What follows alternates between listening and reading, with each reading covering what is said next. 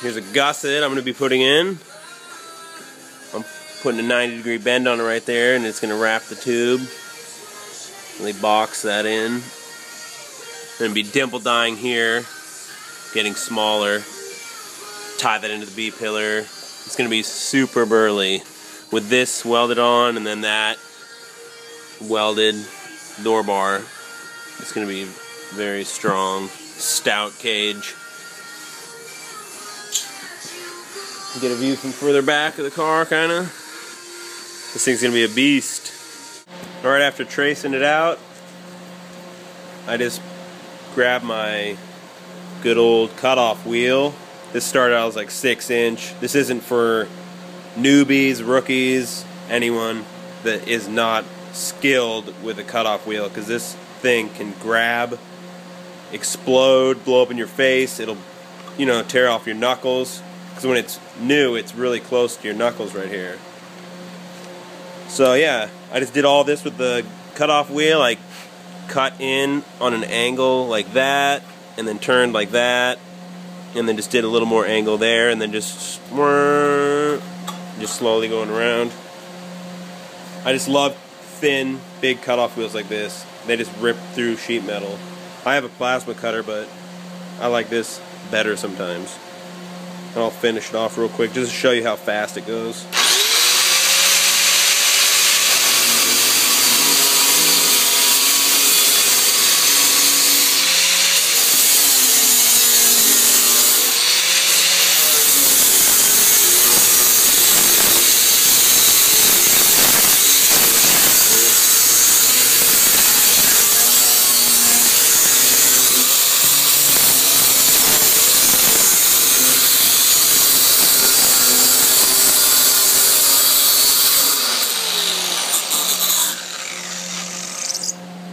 That was a little slower than normal because I was holding the camera, but there you go. Okay, here's our piece after cleaning it up.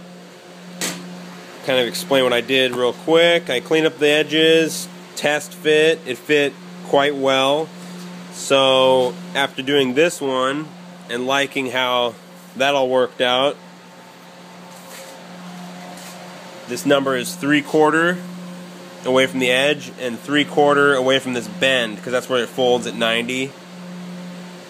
So then I marked out the first dimple die will be a two and a half inch. So I marked, you know, center, came up, center, did a little starter hole for a visual for you guys, but you know, I'm gonna bring it over here to the super sophisticated setup. See, I've been drilling some more holes. Those are the dimple dies you always want to drill into a piece of wood, you know. You don't want to drill into the floor. And then this is what I use right here. This is Swag Off Roads Super Shaft. It's really slick. It's actually for the tube notcher. Same little shaft to notch tube. Put the tube in there and notch it. Anyways, I got a couple of them, so I use this one for doing dimple die holes. It has this nice flat spot right here for a three quarter inch wrench to go on. For when the hole saw gets stuck, just grab like these babies and twist her off or whatever, you know, like I don't like to use this little set that goes into the holes because then the it's not tight like all the way down. Like it here I'll show you like it'll actually uh wobble Okay, see that's the next hole right there. So then it actually has some play. It's kind of hard to see, but I don't like play. So I go down tight. That's why that flat spot's nice to get it off when it gets too tight. So yeah, we'll just drill out this hole and then slowly go up, get your spacing correct, and have fun. Alright, now that you're done drilling that, I don't like to push too hard when I'm using the hole saw. Just kind of let the weight of your hand and arm slowly go through. It takes less than a minute. Having a little patience sometimes is a good thing because you don't want to be pushing hard to have it catch. That's never fun on your wrist. So then you want to clean up the hole so it's not all sharp because people will be fingering your dimple dies on your nice cage gussets because you know they just look cool and they want to touch them. And you don't want to have a sharp edge and cut someone because that's pretty shitty. And they'll wonder who built this cage.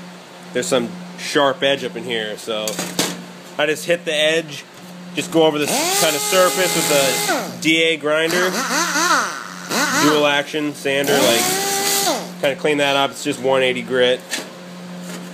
And then I bring it over, I put this little grinding bit in my drill press and I kind of just go around the edges and angle it obviously as the drill press is turned on. But yeah just kind of clean it up make it all nice and then you want to bring it over to the press with the dimple die of the right size which is the biggest one.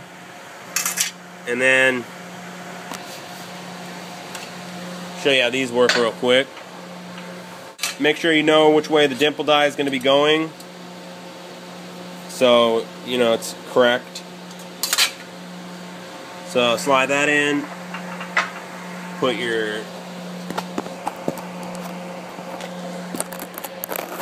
try to get this camera dialed put this one over the top and then see since there's nothing there I just want to put a piece of metal in there so it's pushes nice and even. And then just crank it down. Just keep cranking on the handle until it gets nice and flat in there. It's kind of hard to see, but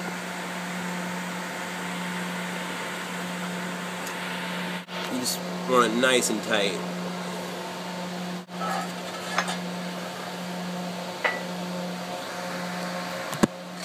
There you go.